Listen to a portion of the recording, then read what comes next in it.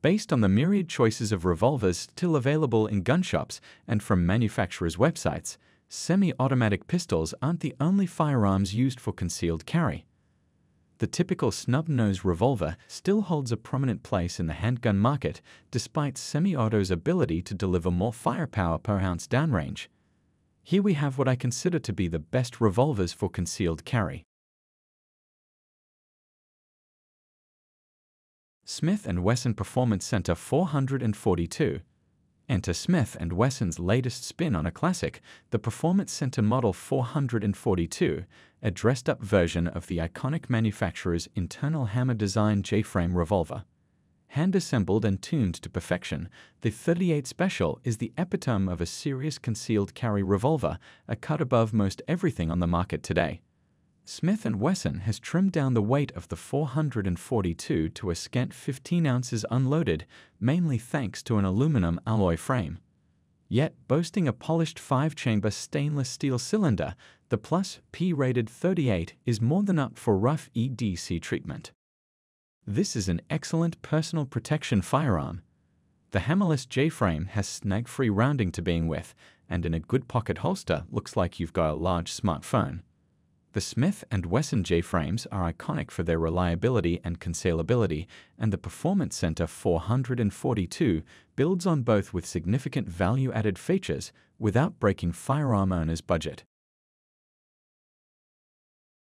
Ruger LCR 327 Federal Magnum The 327 Federal Magnum cartridge is an unconventional cartridge that first entered the market in 2007.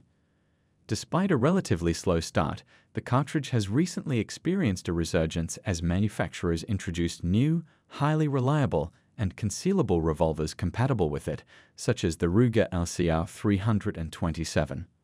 Although the LCR is an established name in the world of concealed carrying revolvers with over a decade of presence on the market, the 327 version combines the gun's well-known traits with a cartridge full of potential for CC or applications.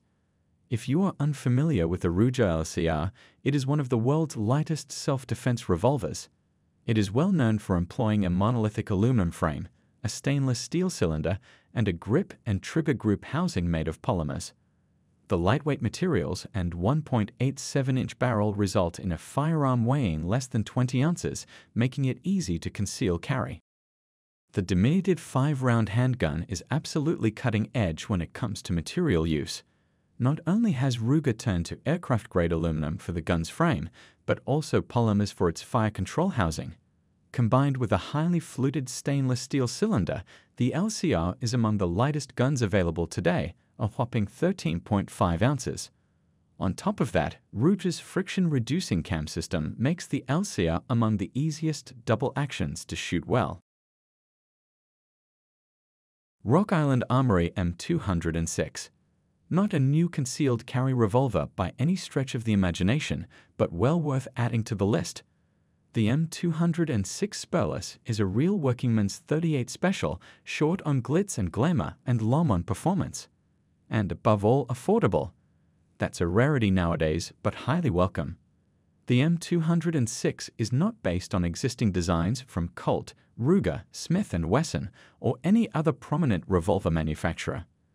This 100% original design resembles many of the classic revolvers made during the 1950s and 1960s, with a blued steel frame and barrel, fixed sights, and a pair of old-style thin wooden grips.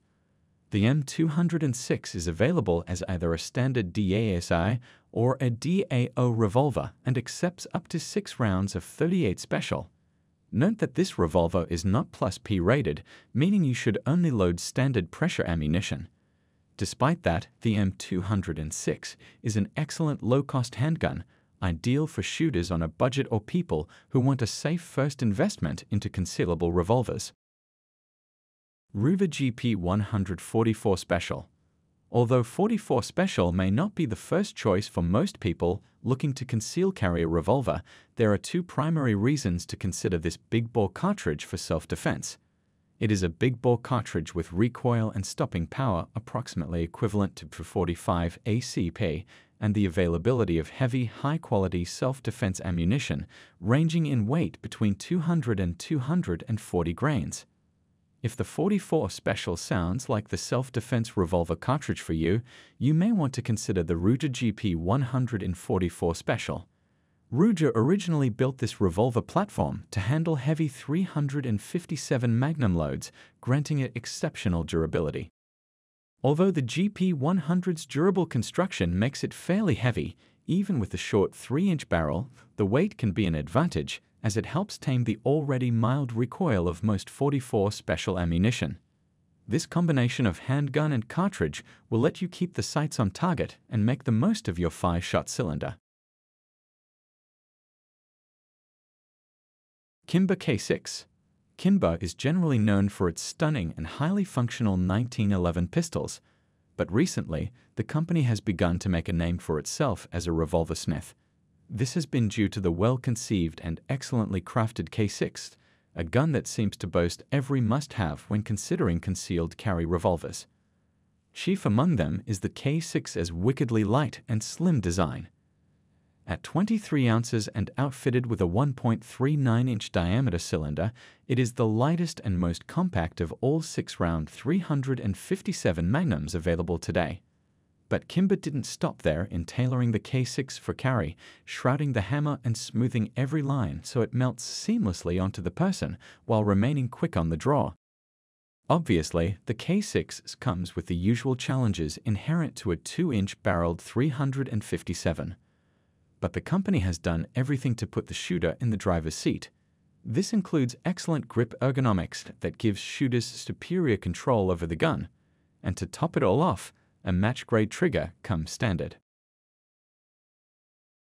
Charter Arms Undercover The Undercover was the first revolver produced by the Connecticut-based Charter Arms Company since its foundation in 1964.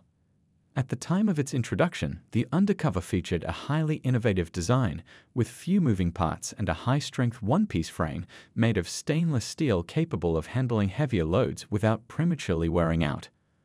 Although the company has since expanded its catalog and modernized many of its classic offerings, the Undercover has remained in production, in large part due to its popularity with civilians and law enforcement officers seeking a small, concealable revolver. If you're looking for a 100% US-made lightweight revolver chambered in 38 special and capable of accepting high-pressure plus P loads, the modern production version of the Charter Arms Undercover may be the ideal choice for you.